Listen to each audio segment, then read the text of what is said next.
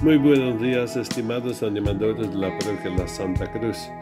En este domingo, el cuarto domingo de Adviento, a través del Evangelio de la Anunciación se nos presenta la Virgen María. El ángel Gabriel le hace conocer a María el proyecto de Dios y le invita a ser parte de él. María acepta la propuesta del Señor sobre su vida, es decir, asume su vocación no se trata de un compromiso de un solo momento. La aceptación de María, su sí, cambiará su vida por completo. Ser la madre del Redentor no es solo en el momento de la concepción, implica la vida entera. Es una verdadera vocación que orientará desde este momento toda su vida. Ser la madre del Redentor es concebir, educar, acompañar hasta la cruz, aceptar ser el alma de la primera iglesia.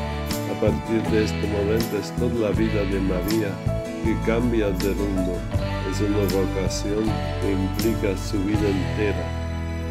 Y también cada uno de nosotros, Dios nos tiene un proyecto.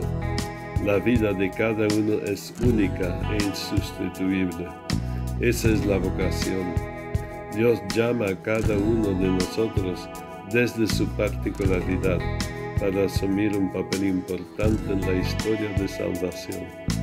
Para conocer este proyecto de Dios tenemos que escuchar al Señor. Dios nos habla a través del Evangelio, a través de la comunidad, a través de las personas que encontramos en el camino. Para descubrir este proyecto es necesario hacer silencio, escuchar, meditar discernir nuestra vocación particular.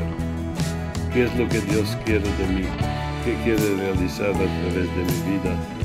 Vale la pena pensarlo, meditarlo y atrevernos a tomar una decisión clara y acertada. Que tengan todos un buen día domingo.